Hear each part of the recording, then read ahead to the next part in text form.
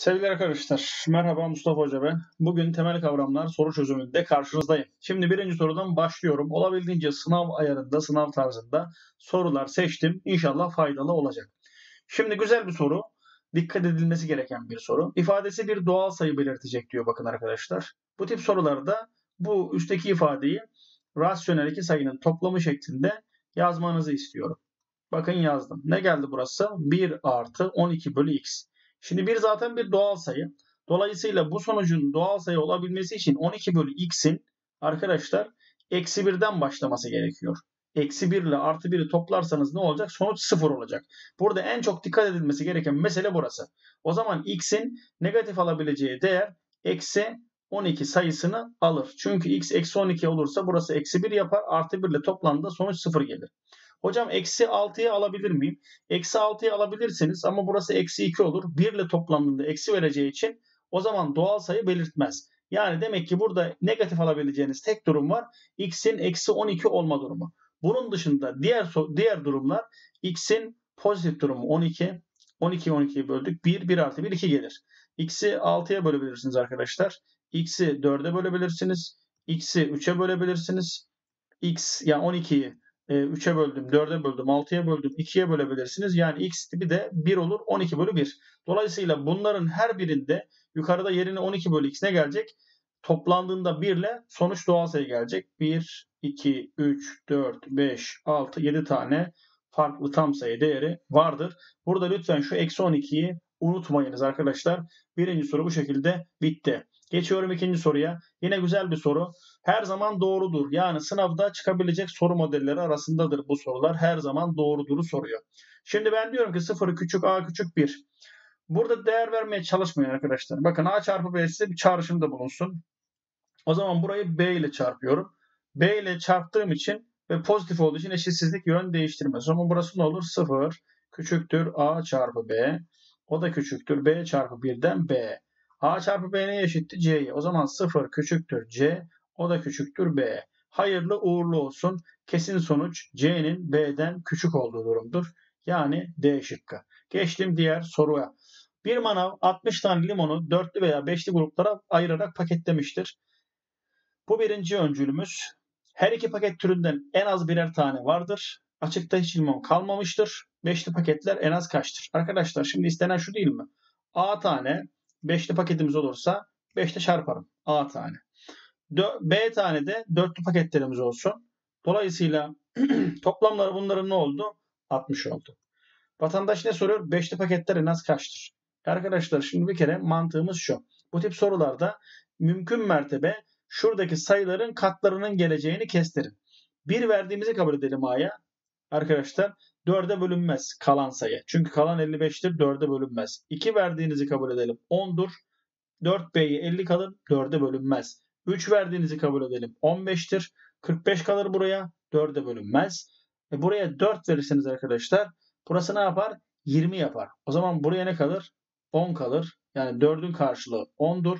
Bu da tam sayı. Bu da tam sayı olduğu için A'nın 5'li paketlerde yani durumu en az 4'tür deriz. Geçiyorum diğer soruma.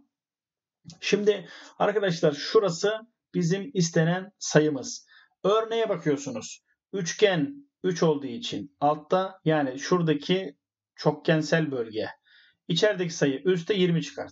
Şimdi bu şekil kaç kenarlı? 4. O zaman 4 altta içerideki üstte. 20 çıkarmayı unutma. Bu eşittir. Artı. Kenar sayısı 3. Bu üstte eksi 20. 4'ün küpü 64. 20 çıktım. Arkadaşlar 44. Artı 3 üzeri 4 81. 20 çıktım 61. Topladım 105. Şimdi buraya önemli bak. Tek tek bütün şıkları deneme. 105 ya burası. Bir kere sen ne çıkacaksın? Bir sayıdan 20 çıkacaksın. Şöyle mavi alalım. NK eksi 20 eşittir. Şöyle diyelim. NK eksi 20 eşittir 105 olacak. E şimdi nk eşittir 125 olduğunu gördün değil mi? E bu 5'in kuvveti değil mi arkadaşım? Demek ki n 5 olması lazım. O da nerede var? C şıkkında 5'in küpüdür bu. E 5'in küpünü sağlayan olay C şıkkında görüldü. Geçtik. Sayı doğrusu üzerinde işaretlenmiş ABC sayılarının toplamı 105'tir. Bu sayıların en büyüğü A olmaktadır. Hemen bir sayı doğrusu çiz. En büyüğü A sağ tarafa al. Yazdım. Şura A. B ile alakalı C ile alakalı bilgi vermemiş. Bunlar şöyle olsun o zaman. B olsun. Bu da C olsun.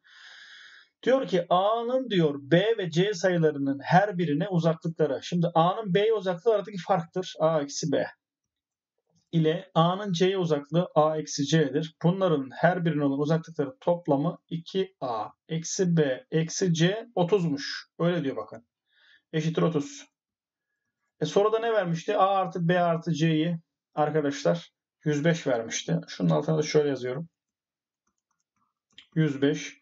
Bu iki denklemi taraf tarafa topla gel. B'ler gitti. C'ler gitti.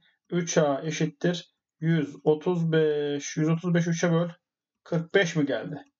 Dolayısıyla A'yı sordu. Cevap C şık. Bu kadar. Geçtik.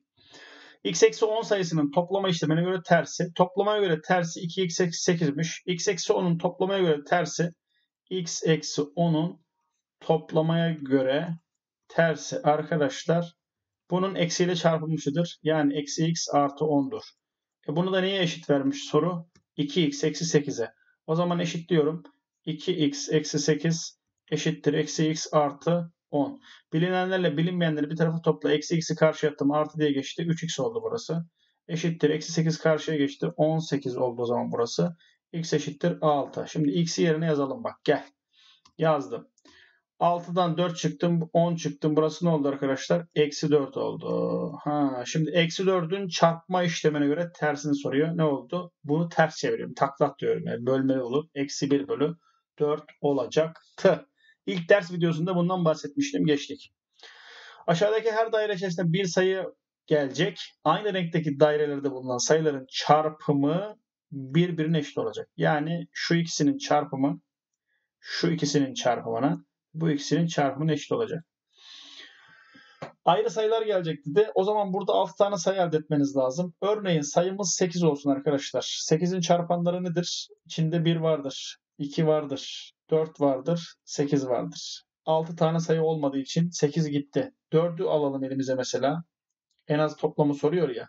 1, 2, 4. Burada hep 3 tane kaldı. O zaman 12'yi deneyelim bir de.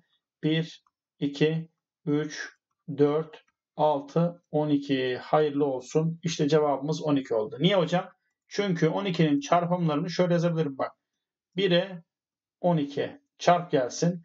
3'e 4 çarp gelsin 12.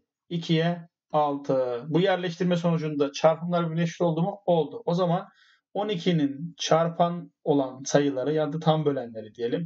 1, 2, 3, 4, 6, 12 toplanırsa ne yaptı? 22, 28. Sorumuz A şıkkında en az toplama ulaştı. Geçtik. A artı A kök 3 rasyonel olduğuna göre hangileri doğrudur? Bakın şimdi olabilir demiş. Bu sorularda arkadaşlar sıfır ve negatifleri çok iyi düşünüyorsunuz. A sayısı sıfır olursa sıfır bir tam sayı. Sıfır elemanı Z'dir. O zaman burayı ben şöyle önce bir paranteze alayım. Olayı daha rahat görün. A parantezine alırsam 1 artı kök 3 yapar arkadaşlar. O zaman sıfırla ben burayı çarparsam 0 çarpı 1 artı kök 3 sonuç 0 olacağı için 0 elemanıdır Z olduğundan Dolayısıyla tam sayı olabilir ve bu sonuç rasyonel sayı olur. A rasyonel olabilir demiş. Bakalım olabilir mi? Rasyonel. Yine ne oldu? 0 elemanıdır. Rasyonel sayı Q'nun elemanı değil mi? E 0 çarpı yine 1 artı kök 3. Aynı mantık. Ne oldu? 0 oldu. E 0 yine neyin elemanı? Q'nun elemanı. Dolayısıyla bu da olabilir. İrrasyonel sayı diyor. Arkadaşlar Burada şimdi dikkat etmeniz gereken mesela 1 eksi kök 3'ü ele alalım. İyi seyret şimdi. Olabilir dediği için. Elemanıdır Q'nun üzeri. Doğru mu? E 1 eksi kök 3 ile 1 artı kök 3'ü çarptım şimdi bakın. Ne geldi? 2 kare farkı. Yani 1'in karesi eksi kök 3'ün karesi geldi. Sonuç itibariyle 1 eksi 3 gelir mi?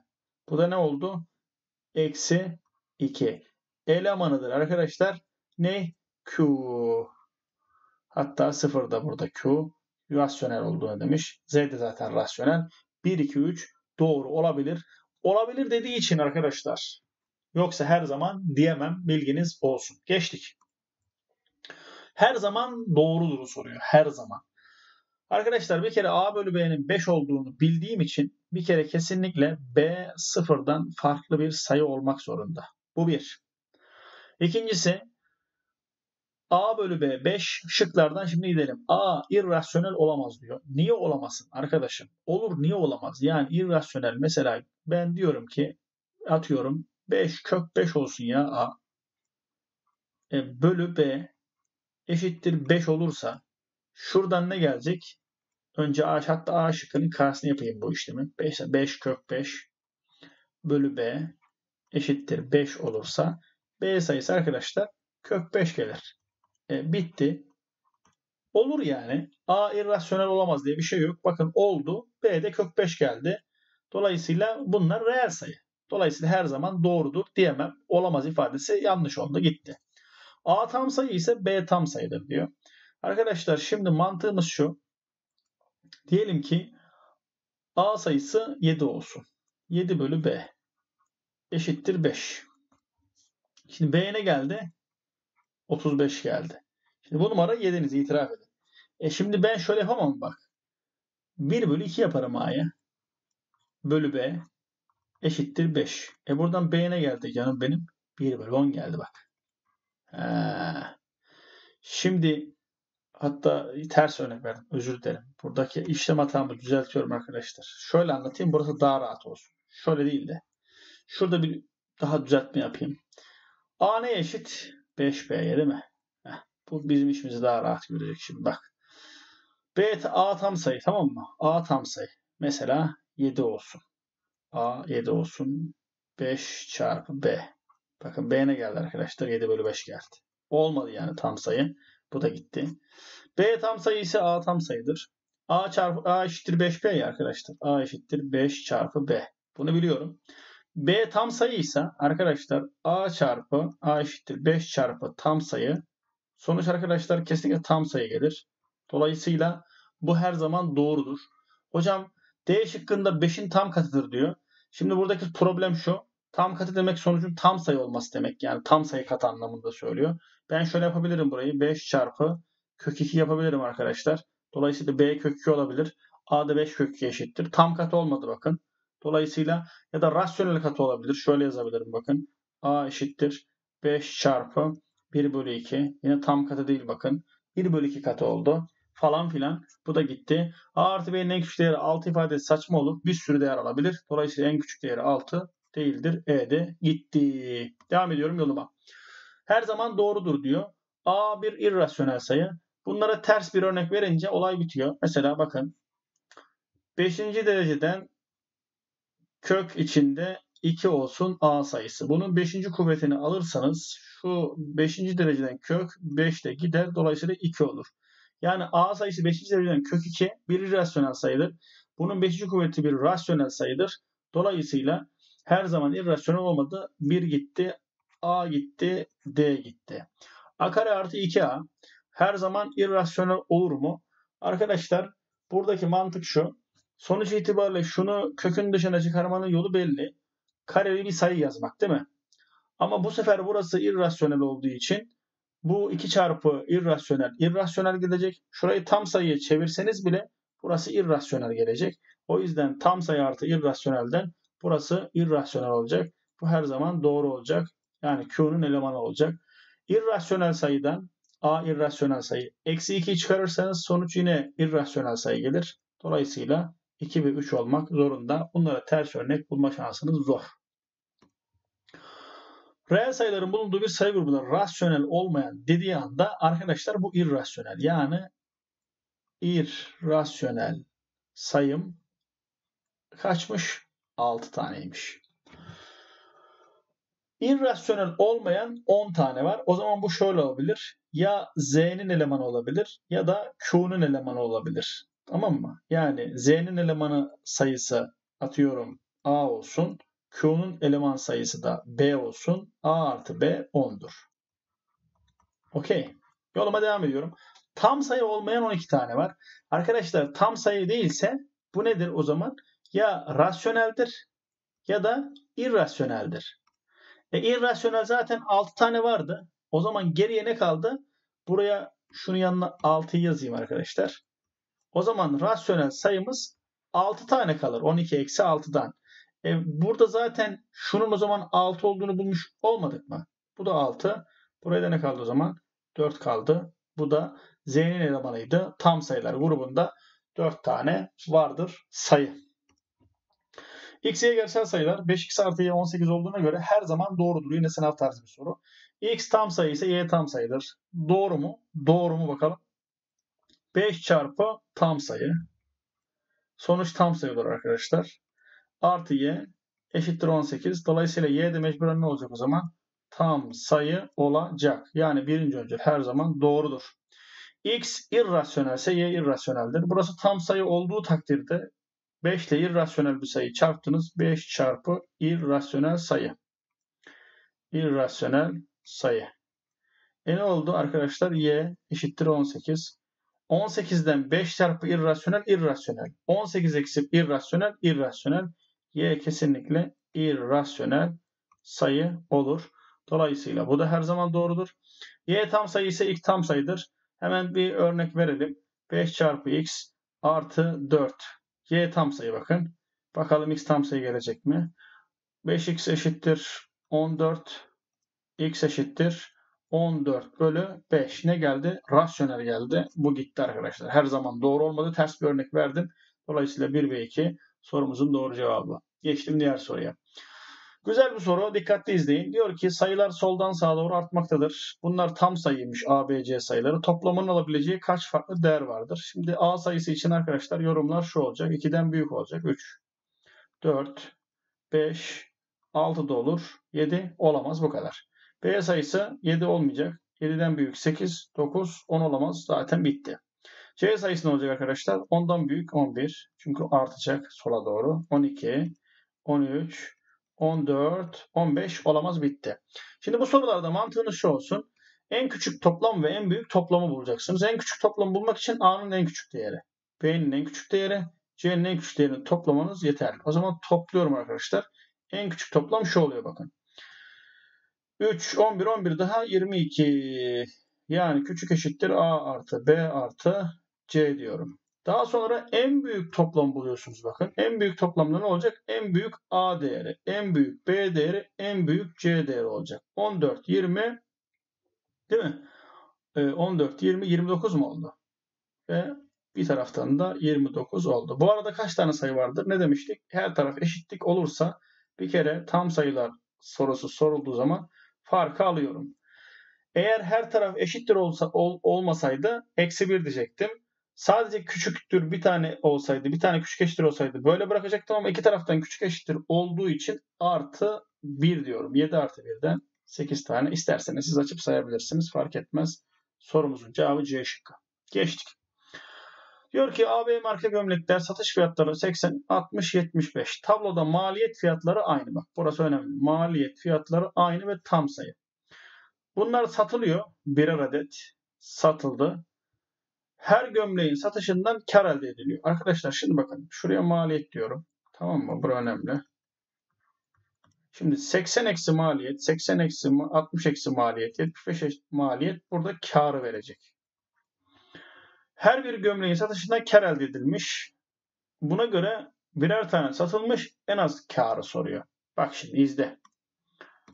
Ben diyorum ki o zaman bu 60 lira burada satış fiyatı en düşük olan ya maliyet o zaman 59 TL olabilir en fazla.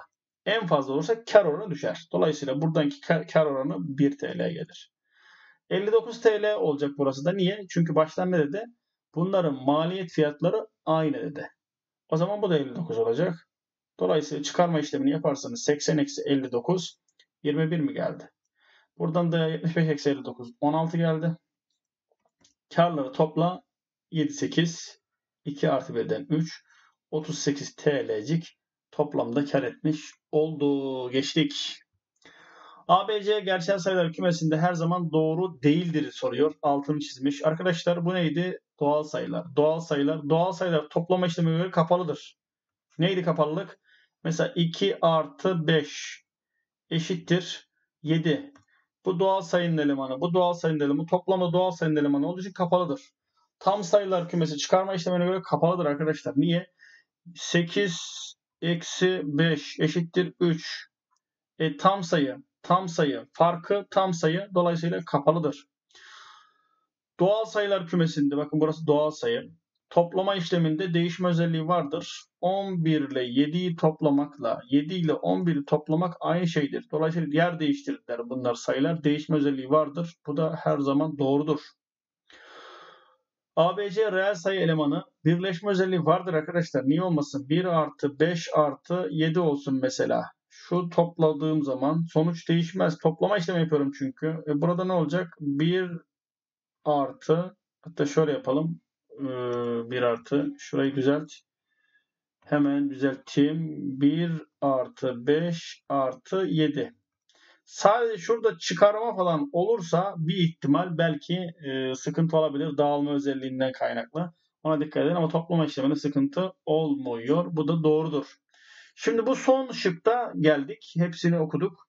Çarpma işlemine göre her reel sayının tersi olamaz. Neden? Sıfır arkadaşlar reel sayılar kümesinde elemandır. Ama sıfırın tersi 1 bölü 0 arkadaşlar tanımsızdır. Yani reel sayılar kümesinde böyle bir eleman yoktur. Dolayısıyla 1 bölü a reel sayıların 1 bölü 0 elemanı olmadığından şöyle çizdim. A şıkkı her zaman doğru değildir. 0 bozuyor olayı. Geçtik. Şimdi bu tip sorularda şu rasyonel ifadeyi bir kere bir toparlayın. Şöyle 6 ile çarp paydadan kurtar. X geldi. 6y eşittir 30 geldi. X'in en büyük değeri için burası farkın olur diyor. O zaman y'yi pozitif tam sayı demiş. 1 aldım. 6 kere 1 6. 30 eksi 6. X de 24. O zaman 24'ten 1'i çık diyor. Yani cevabın 23. Olay budur işte. Devam. Devam edemiyoruz. Bitti. Bu kadar arkadaşlar. Olayımız bundan ibaret. Ne yapıyorsunuz? Önümüzdeki derslerde görüşüyoruz. Abone olmayı unutmuyorsunuz. Kendinize iyi bakın arkadaşlar. Abone olunuz. Hoşçakalın.